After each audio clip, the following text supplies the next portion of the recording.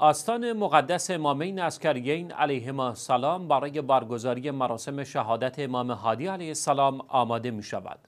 در آستانه سال روز شهادت حضرت امام هادی علیه السلام کارکنان این آستان مقدس سنهای حرم متحر امامین عسکریین را سیاه پوش کردند و برای مراسم عزاداری آماده شدند.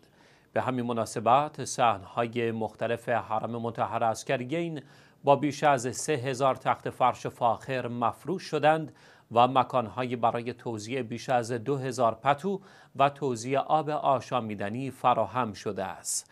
همچنین نیروهای امنیتی برای تأمین امنیت مراسم در مسیرهای مختلف مستقر شدند.